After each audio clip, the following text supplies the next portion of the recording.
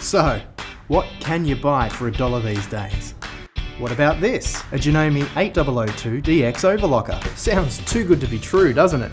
Well, when you buy the Janome 2160 DC sewing machine for only $699, for just $1 more, we'll give you this amazing overlocker valued at $599. Give it as a gift or keep it for yourself. This offer is too good to miss. Limit one per customer, no rain checks.